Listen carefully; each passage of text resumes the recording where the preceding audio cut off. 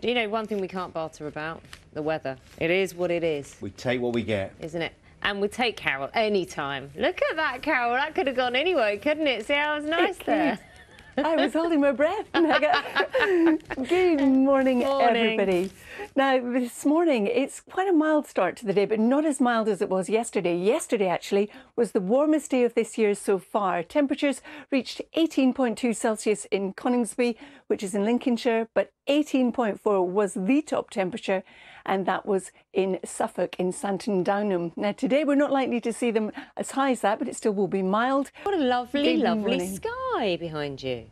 It is beautiful, isn't it, Naga? Lovely blue skies. Good morning, everybody. In fact, yesterday was the warmest day of this year so far, with temperatures in Suffolk and Lancashire, Lincolnshire rather, reaching 18 degrees or just over. Look, that doesn't look like big coat weather behind you. Beautiful pictures. Beautiful It's flowers. beautiful indeed, isn't it? Lovely crocuses there by the looks of it, Naga. Uh, yes, good morning, everybody. It is a mild start to the day, not quite as mild as it was yesterday. Yesterday actually was the warmest day of this year so far. Nice sky. Good morning, both, and good morning to you. It absolutely is, John. Lovely picture sent in by one of our weather watchers from Wakefield this morning, and we've seen quite a few of those in the last few days as well. Good morning. Yesterday we had the warmest day of the year so far.